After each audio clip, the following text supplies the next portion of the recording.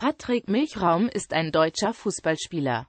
Karriere Milchraums Jugendverein war der SV Vaihingen, danach spielte er drei Jahre bei den Stuttgarter Kickers. Er wechselte zu 1860 München, zählte dort bald schon zu den etablierten Spielern und erzielte das erste Tor im Eröffnungsfreundschaftsspiel in der Allianz Arena beim 3:2 Sieg am 30. Mai 2005 der Münchner gegen den 1.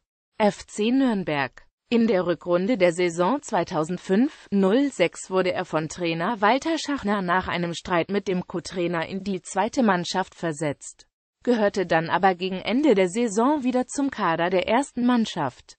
Durch sein Tor am vorletzten Spieltag beim 1:0-Sieg gegen Saarbrücken sicherte er den Löwen den Klassenerhalt.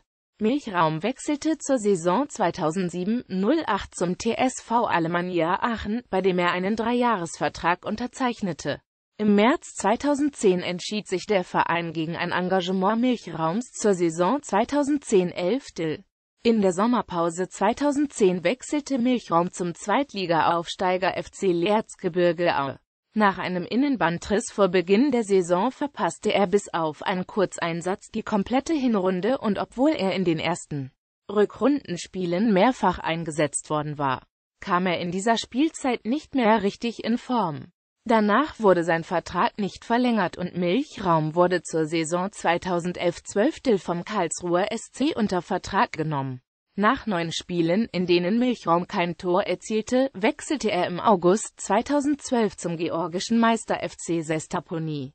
Dort unterschrieb er einen Vertrag bis zum 1. Januar 2013. Milchraum war damit der erste deutsche Profifußballer in Georgien. Insgesamt kam er zu 17 Einsätzen und erzielte ein Tor.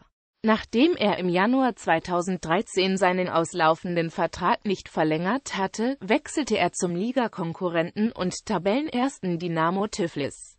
Mit Dynamo wurde er 2013 georgischer Meister und Pokalsieger. Nach dem Ende der Saison ging er zurück nach Deutschland zu den Stuttgarter Kickers.